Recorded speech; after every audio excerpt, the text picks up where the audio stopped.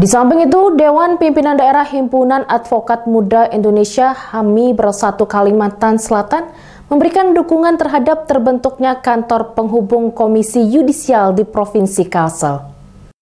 Dewan Pimpinan Daerah Himpunan Advokat Muda Indonesia, HAMI Bersatu Kalimantan Selatan, mengunjungi kantor penghubung Komisi Yudisial yang ada di Jalan Gatot Subroto 1 Banjarmasin, Jumat 23 Desember 2022. Kunjungan DPD Hami Kalsel kali ini dalam rangka memberikan dukungan sekaligus berkomitmen membantu keberadaan komisi yudisial yang berada di daerah.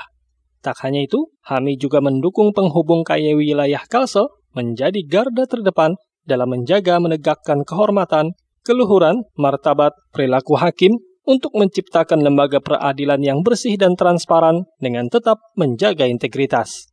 Untuk mewujudkan hakim yang bersih, uh, profesional dan berintegritas dan diharapkan ke depannya juga Komisi Yudisial Kalimantan Selatan ini dapat menjaga keluhuran martabat serta etika atau perilaku dari hakim itu sendiri khususnya untuk yang di Kalimantan Selatan.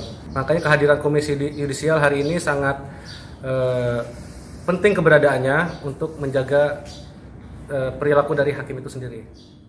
Sementara itu, Koordinator Penghubung Komisi Yudisial Wilayah Kalimantan Selatan, mengucapkan terima kasih atas kunjungan DPD Hamin Bersatu Kalsel. Sebagaimana diketahui, tugas penghubung KY adalah menjaga dan merawat, memelihara, dan mengawasi kode etik pedoman perilaku hakim, serta menjaga martabat hakim di wilayah Kalsel.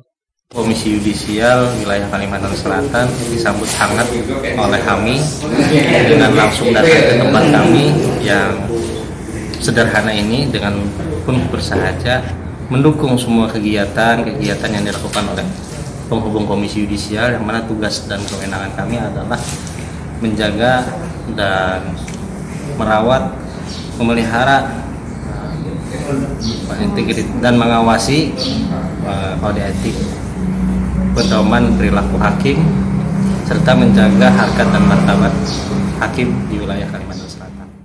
Terkait masih adanya hakim yang tidak profesional, Syaban mengaku akan menerima apa pun yang menjadi keluhan selama ini dari para praktisi hukum terkait ada beberapa pelanggaran yang tidak profesional.